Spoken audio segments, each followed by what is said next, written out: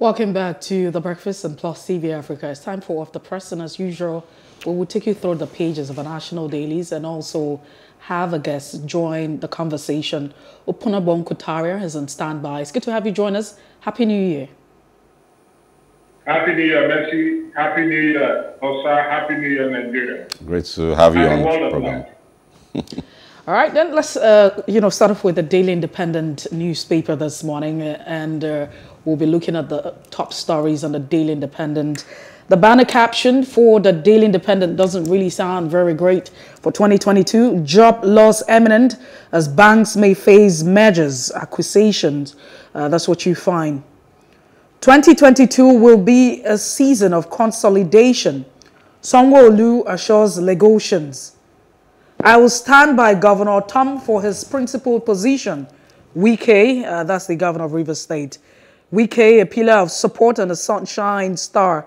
Uh, you also have Ortom quoted and all of that on the Daily Independent newspaper. Uh, away from that, terrorist mountain roadblocks amounts to two sovereignties in Nigeria MBF is quoted on that. Insecurity, probe alleged misuse of security votes by governors SERAP tells Buhari. And also, you have Buhari's non-supervision of military activities affecting insurgency results. And uh, Lagos police debunk alleged shutting down of estates by the Commissioner of Police. I mean, we talked about that just some minutes back. And Fire God's Nnewi Market. This is some of the headlines on the Daily Independent newspaper. All right, so the Punch newspapers next. Budget. National Assembly faults Buhari, insists on 6,576 extra projects. National Assembly has power to drop and amend budget proposals, says House spokesman. Lawmakers have no rights to introduce projects. It's an anomaly, says Itse Sagay. And also, um, the Senate did respond saying Sagay did not speak from a position of law but lack of understanding. Also on the punch, Nigeria's inflation rate may be among the world's highest in 2022, and that's from the World Bank. Uh, Wike visits Ikpeazu, Bauchi governor, attacks Buhari, alleges anti-graft fight lopsided. Buhari, eminent Nigerians mourn Olubadan, Balogun, uh, to mount throne. And uh, we can also find on the uh, punch this morning, police um, 178,459 firearms unaccounted for. 3.22 billion naira paid to ghost workers, says the Auditor General of the Federation. And the federal government owes five IOCs 1.15 billion naira, a billion dollars uh, cash uh, call arrears. Uh, we can also find on the punch this morning.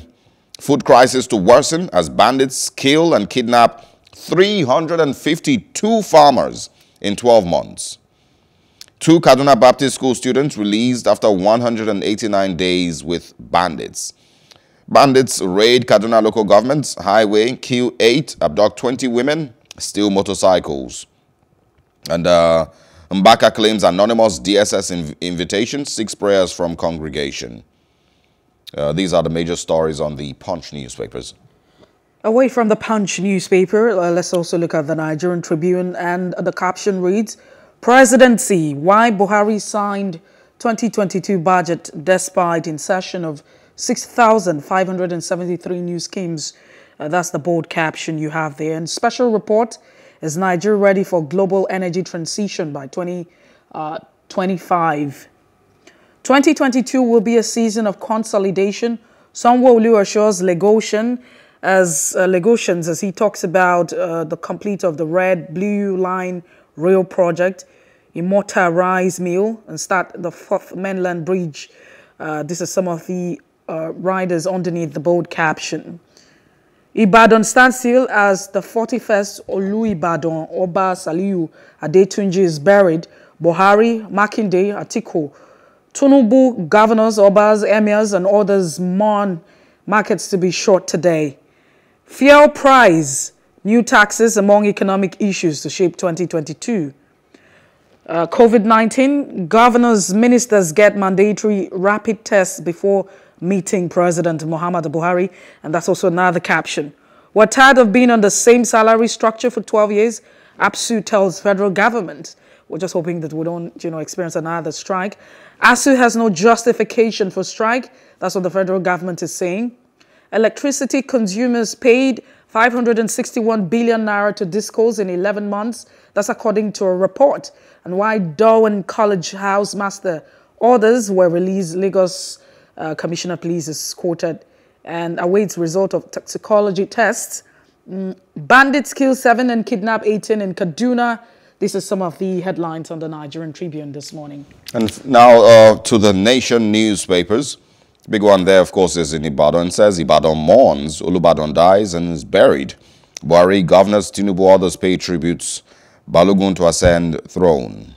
Also on the nation, bandits kill seven in Kaduna communities. Senate probes PPPRA's 200 million naira to foreign firms. COVID-19 test for State House visitors, new rules of uh, at the presidency. And also 2023 polls, Jonathan meets coordinators. Buhari states fighting lost battle on $418 million Paris Club cash. And then NIMET alerts airline operators to poor visibility in eight states. Uh, I think these are the stories that we can uh, share on The Nation this morning. Good morning once again to Opunabo Inko-Tariah. Thank you so much for joining us. And uh, let's go ahead. You know, which of the stories would you like to start from? Anyone. Let's just pick anyone. Okay, let, us start with the uh, one of them that uh, Mercy did share, um, the one on on um, security votes by governors, and of course, uh, uh, a call to probe security votes and misuse of security votes by state governors. Well, I've always been a very strong advocate of that because um, most of these governors the security votes. So it's not accounted for, which is extremely wrong and uh, a lot of them appropriate as much as 5 billion to 10 billion naira monthly for security votes. This to me is incongruous. It's completely unacceptable. I think there should be a benchmark. There should be a fixed amount for security votes. And at the end of the day, at the end of the month, or at the end of the year, or at the end of the governor's tenure, president's tenure, he gives an account of how much is being spent. Because that is a conduit pipe excuse me, for most governors and presidents, in lots of them, that is how they steal the money. You don't even know how much is being voted for security. You don't even know how much is being spent at the end of the month. And so it is used by governors and presidents as a conduit file. I strongly believe that they should say for governors, depending on the state, they should say for governors, you should not exceed 2 billion. You should not exceed 3 billion if there is need for you to exceed, your national, your state house assembly will approve. And at the end of the month, just as you're going to investigate monthly allocations, you can also investigate the security vote. I agree. Some of them will come up with an argument that you, in terms of security, it's not all about the physical. It's not all about what you see because you pay for information. For example, now you might have somebody who serves as secret agent that you pay monthly, and you cannot disclose the number of persons you can because their identities might not be disclosed and should not even be disclosed for security reasons. So you pay them money Now, you understand all those technicalities. But then it is being abused. So let us say, okay, we are not in, we are not interested in the person, the identities of those you gave the money. We are not interested, but we want to know. You said you have 10, 5 billion, not exceeding 5 billion naira a month. Because some governors take as much as 10 billion naira, not exceeding 3 billion naira a month. If you are not going to disclose and you cannot even properly account for it, to a very large extent, it's going to reduce the amount that is being stolen in the name of security. So first, let us start by pegging it. Let us say, okay, River State not more than 2 billion. Lagos State not more than 3 billion. Then if at the end of the day, the House of Assembly, even though I call them Ministry of uh, Lawmaking, because most of them are rubber stamp assembly. So even though the House of Assembly will eventually uh, approve more money depending on the security situation in the state, then fine. Then at the end of the day, the governor should account for because you cannot tell me 10 billion naira, you spend 10 billion naira on security in a month in a state that is fiscal. How do you explain it? No, and this money should be even the DSS, the DSA DSS not even account. And these are conduit by it's a very silent way of stealing, very silent way of stealing. Because Mr. we have Inko-Tariah. people at the helm of affairs are not are not credible. They are not credible. Mr. They civilize Inko-Tariah, clients, Yes, but here they are not credible. Yes. if if the security apparatus across the country is controlled by the federal, the state doesn't have state police or anything, then what does the governor spend even one billion naira on monthly? What spy agents, You what equipment you- is he buying? You just ask. You just ask the right question. That's the point I'm making. You just ask the right question. The reasonableness in that is what I'm questioning. So how can you now? Because most governors will tell you they spend 10 billion naira. Some will tell you they spend 5 billion naira. But you can see that the governor will buy maybe 20 cars of uh, the police. The 20 cars will amount to maximum, let's say, 100 million naira. I call it, maybe get 100 million naira. And because it's not accounted for, and most times it's not being taken from the security board, let's face it, it's taken from other sources. Even if you're buying, even if he's buying cars, he doesn't buy cars every month. The governor's money. So that's what I'm saying. I'm just the security board is being used, is seen by the governors as their own personal money. It's like a pocket money to them every month. So it is being abused. We can stop security vote if that is the case. Use your allocation. I think the best thing, in fact, stop security votes. Use the allocation so that you can always account for it. If you the state gets 10 billion naira every month, 5 billion naira every month, just ask you are prepared for other issues like health and so on. You can also don't bother about security votes because it is used as a conduit by most of our government. They see it as their pocket money, monthly pocket money. And that's why in most cases it is extremely huge. 10 billion naira, 5 billion naira security vote. For what? It's not, it's not, it's not right. So I completely agree. Because if you say you're going to prove, I can tell you, there might be an excuse by most of these governors. They'll tell you, uh, our informants, and the informants are not, you are not, they are not supposed to be known. So they'll tell you, our informants, we pay X amount to get information. It's also part of security. They might come up with that argument. But the best way is no security votes. Spend just as you're going to spend on health, just as you're going to spend on education, just as you're going to spend on roads, spend, let it, get the money without any name, designation, security vote. Spend. So at the end of the day, when you're made to account, when it's time for uh, uh, uh, what's it called Ac- accountability, you will come out and explain how. The informants you talked about, and one one thing I also want to say is that if you disclose, if if you cannot disclose the informant to the public, but in terms of probe, even if it's like what is done in the law courts, when you have a motion in lemma, you don't you don't have it in open court. In terms of probe, I think those informants should be made known to those that are probing. It's like uh, uh, what you call the what this uh, whistleblowers. Whistleblowers are actually not known to the public, but they are known to the authorities. So the informants should be known to the authorities All right. that are probing, not the public necessarily, because to protect them against any form of attack. Opunabo Inko-Tariah, let's also look at the Nigerian Tribune where uh, the caption here says fuel price and new taxes among economic issues to shape 2022. Do you agree with this school of thoughts? Sorry, you said what? Fuel price and new, price, new taxes. taxes to shape uh, the economic situation of 2022 or economic issues. Oh, issues. definitely. Oh, definitely. The economic situation of the nation, well, but if we talk of the individual citizens, oh, definitely. Definitely. For the, for the worse, not for the better. Because, because in, at times I ask why we pay taxes in this country.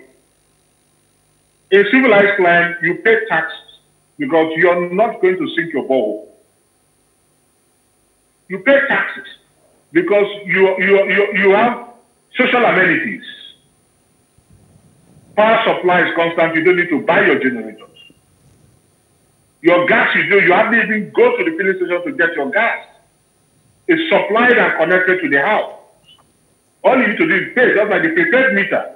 Anytime you exhaust it, it's cut off. In Nigeria, why do you pay taxes? Where are the roads? Do you have this social security? You, you sink your borehole. You buy your plant. Practically everything is done by you and not by the government.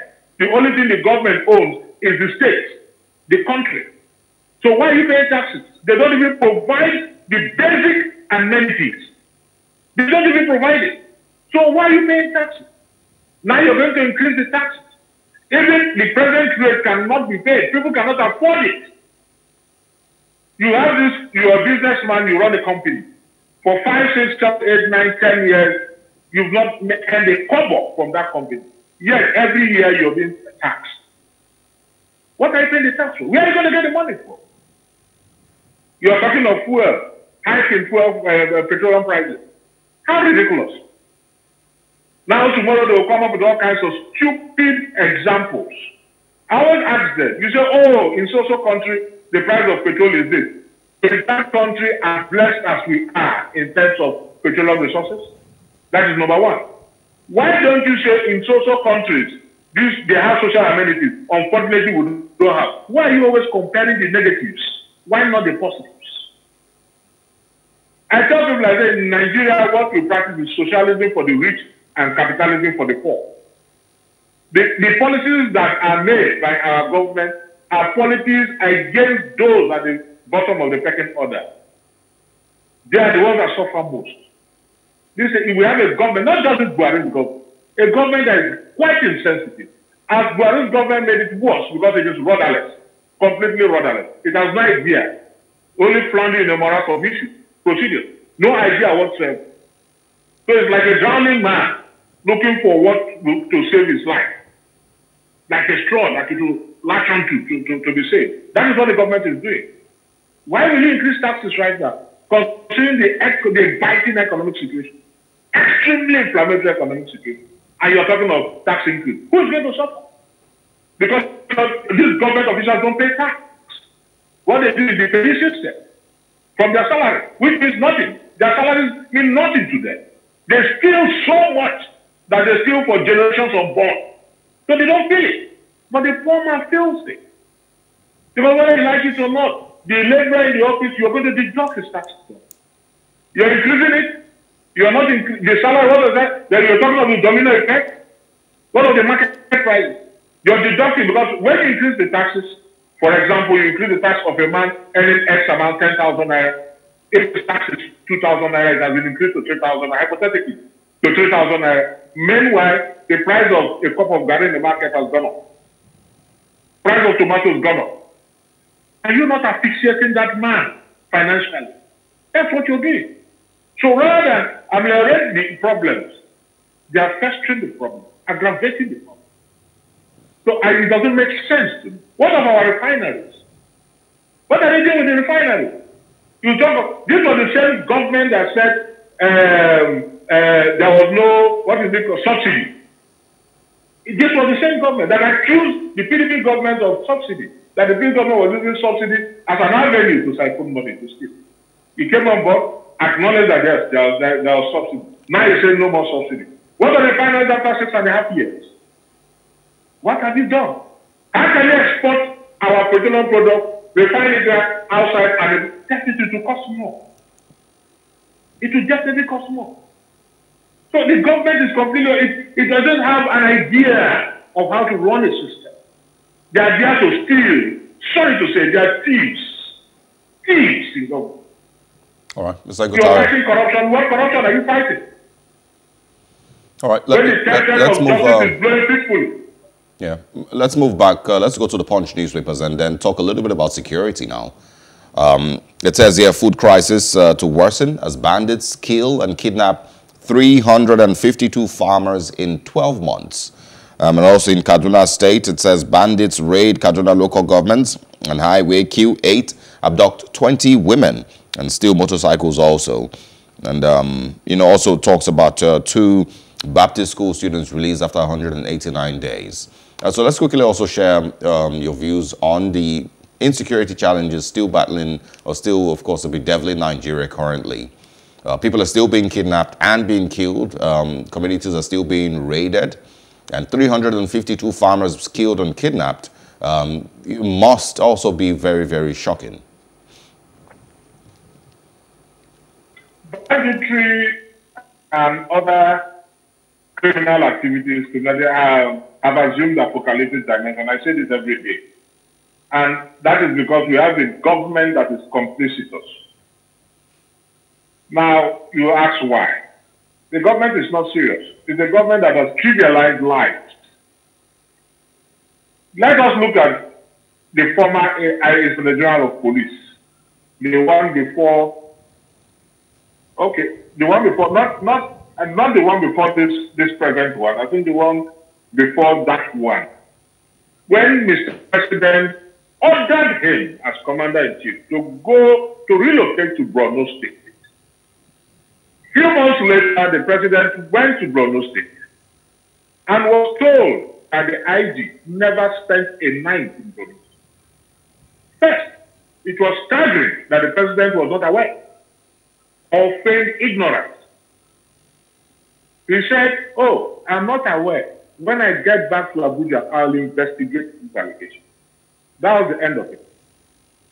No disciplinary measure was taken. He served out his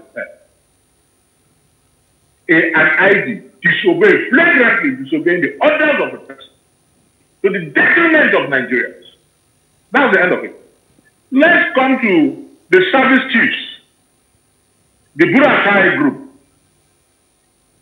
They said so much amount was allocated for the purchase of arms and ammunition. Nothing. You're also in Nigeria. Nothing. Rather, the situation got worse.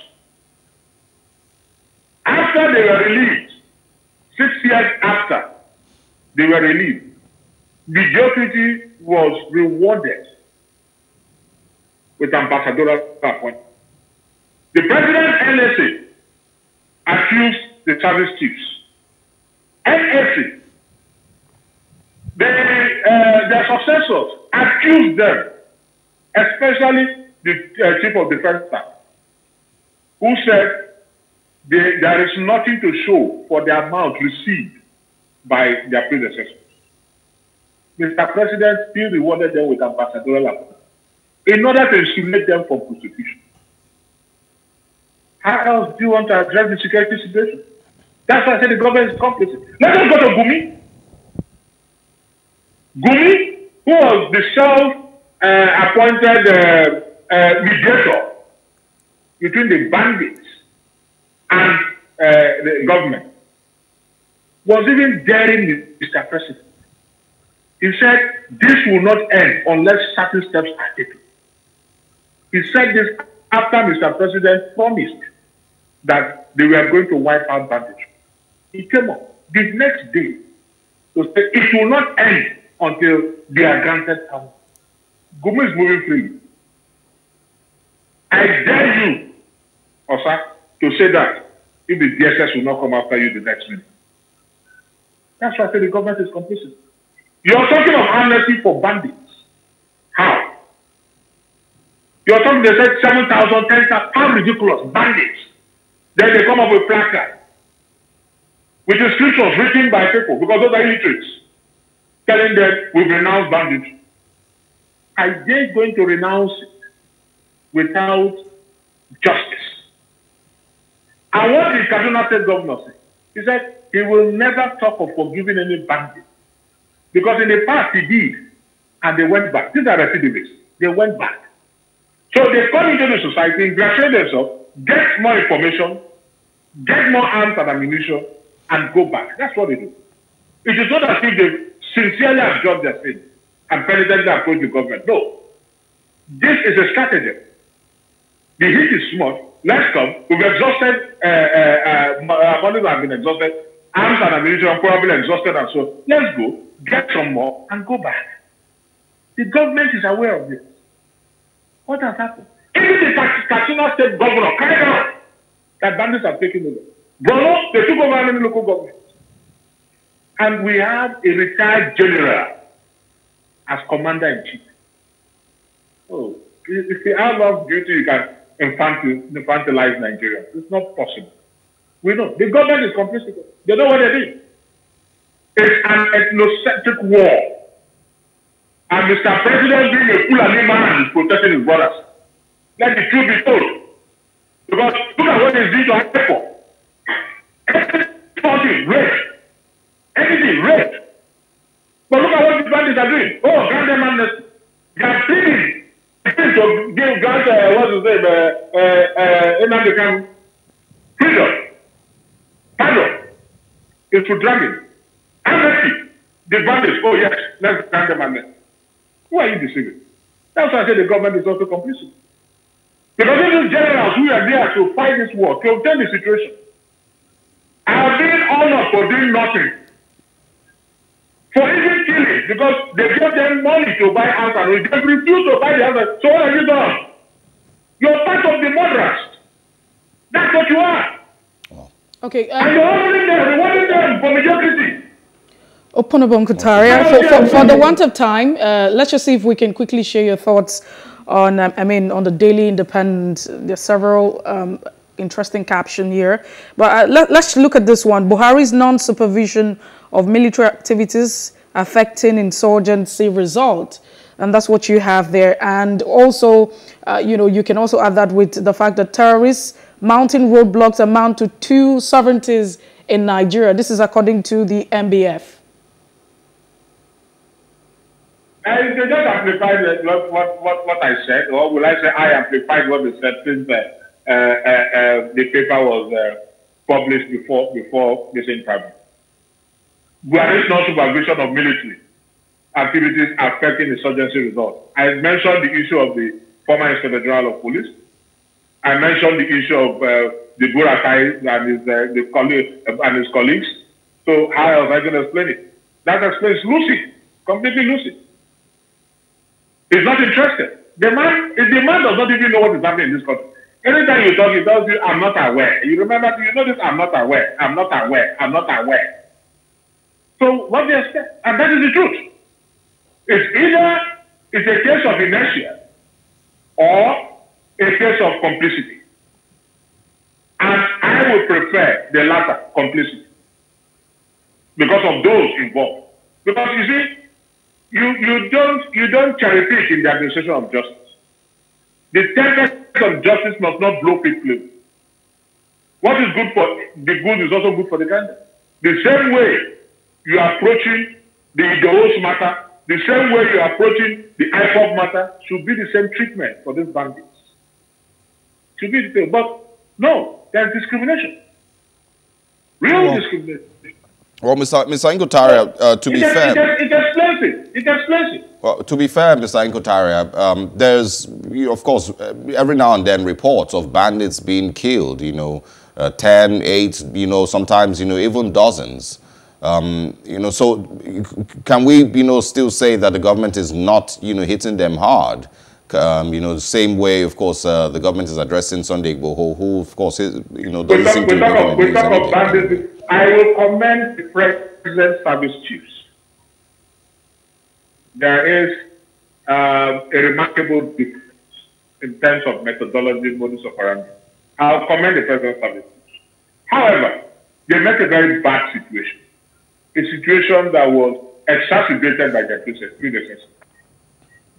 And I tell you, these very commanders, yes, we agree. Once in a while, even the, the God has his enemies. Hmm.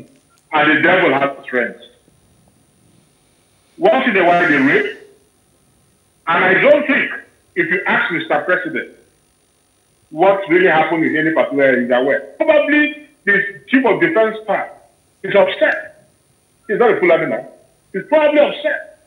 And he's carrying out this thing suo. Not as if Mr. President is interested. Because you have the former service chiefs and things got worse under them. Monies appropriated, we are misused, embezzled.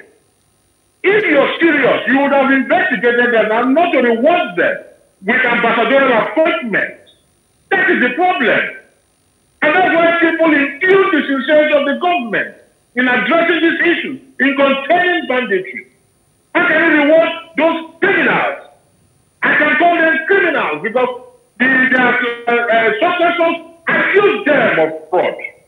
But of course, you the know, you, you know that they need to be tried. You know, I mean, everyone is. I know that's the argument you come up with. I Definitely. call them criminals. They On- just- that- excuse me, excuse me. If I am putting you to court and I say Mercy stole my one million, I've already called you a thief. You will go to court for a rebuttal to clear your name, isn't it? and court to give a judgment. That's how it's done, isn't it? So I am now saying they are criminals. Let them go to court to say, no, they are not criminals. You, there has to be an allegation for an action to take place. So I am now saying they are criminals. And that's an Let allegation. court to say, no, they are not criminals. That's an But as far allegation. as I'm concerned, that's what I'm saying. It's an allegation. I'm not. I'm not. That's an allegation. That's to me. That's my opinion. That's my view. It is also within their rights. It's also within their power to go to court to say no, we are not. You call us criminals. Then the judgment will be passed, and the world will know who is saying the truth or not. Because the NSA came out to say that they embezzled the funds. Their successors came out to say they embezzled the funds. How else do you explain it?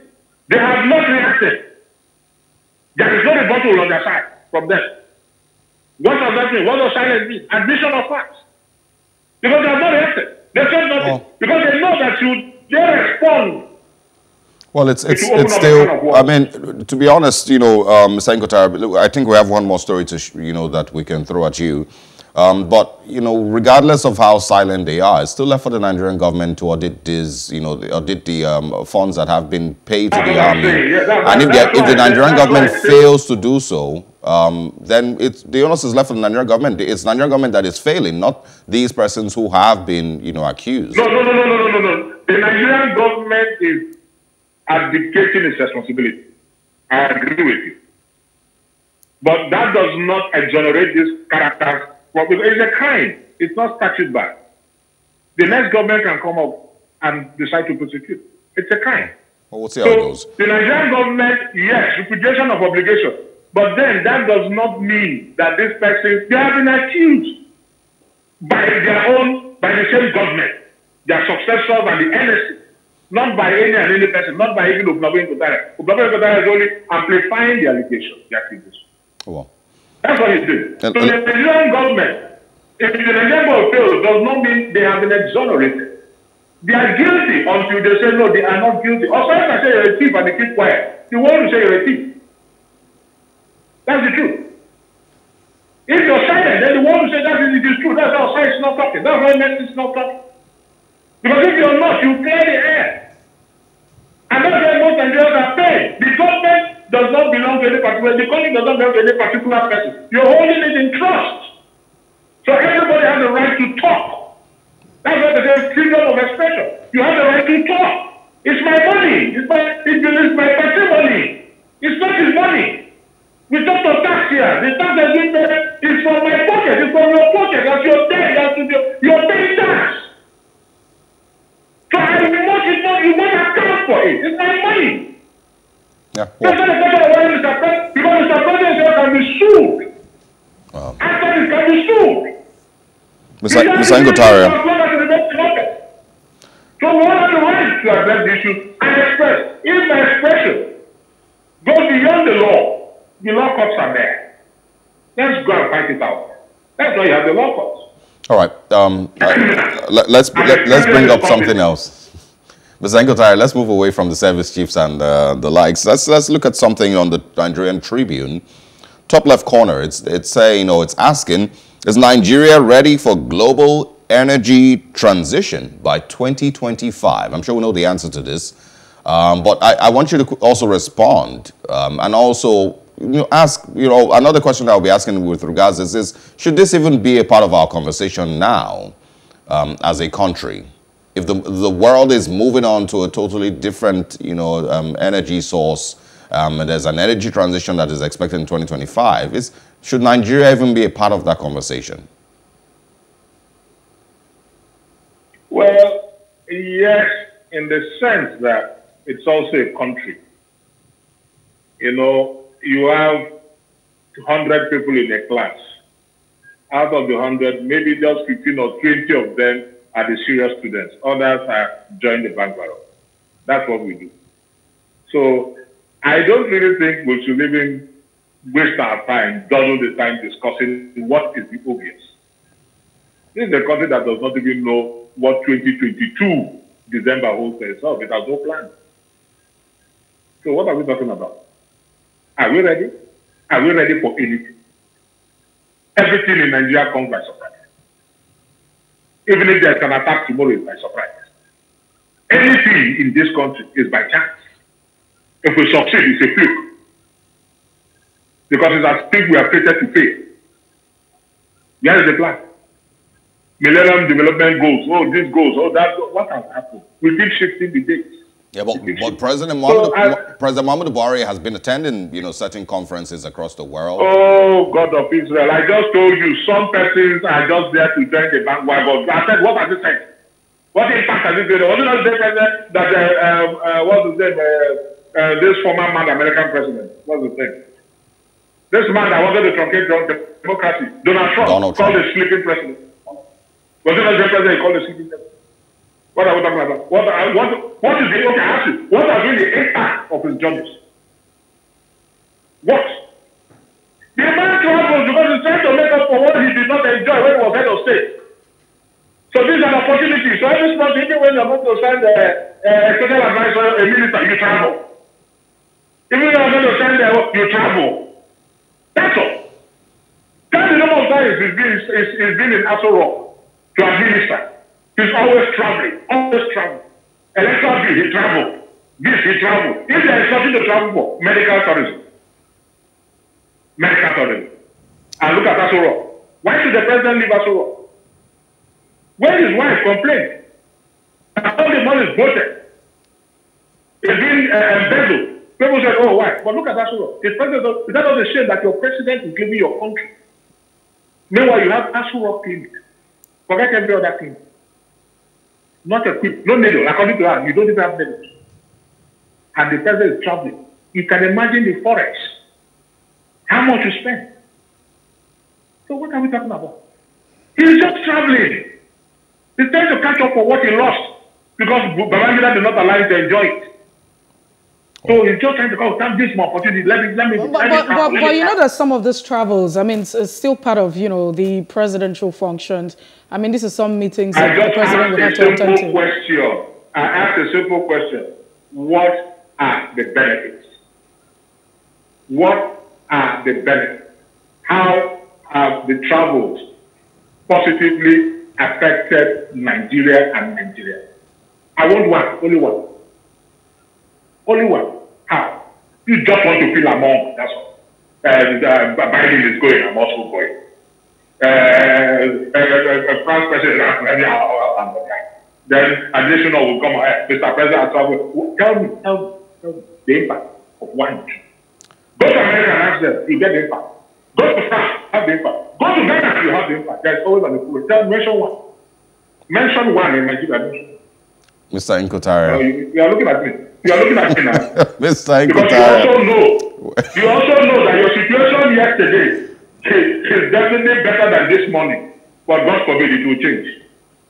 With Inko-Tariah. Thank you very much for yeah. joining us this morning. We truly enjoy speaking with you. Thank you. And we want to wish Thank you a you. very, Thank very you. beautiful day ahead. Thank you very much. All right. Uh, pretty interesting uh, conversation this morning. We'll uh, take a short break and, of course, uh, share with you what happened on this day in history. We're going to be talking a little bit about Aretha Franklin, the legend. And then right after that, our first major conversation for today moves to Borno State. We'll be back.